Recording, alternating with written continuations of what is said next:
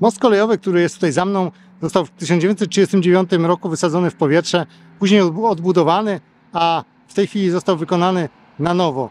Ale może zostać zniszczony przez piekielną maszynę, która może się tu pojawić. Nie wierzysz? Chodź, zobaczysz. Dowcipniś.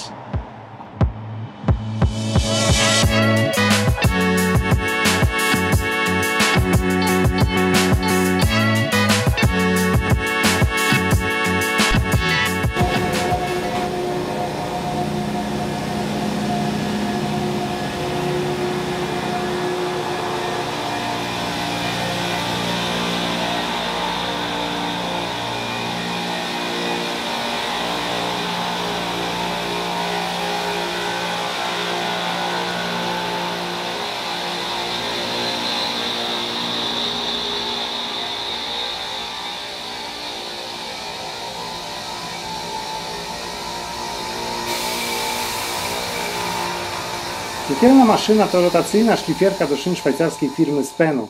Za pomocą kamieni szlifierskich, które obracają się wokół własnej osi, szlifuje się szyny.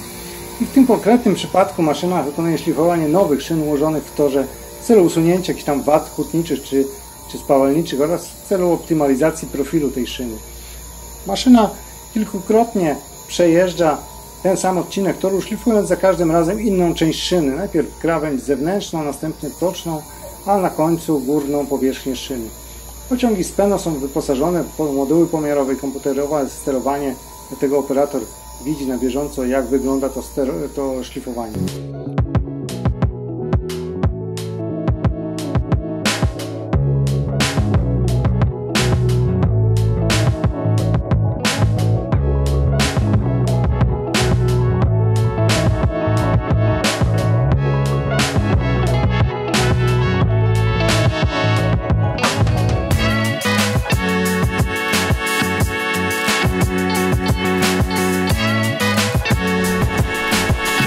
Tak wygląda ta szyna, szyna wyszlifowana.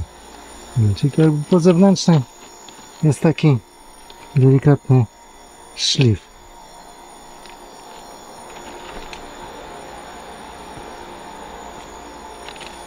I tutaj no. jeszcze czuć spalenizną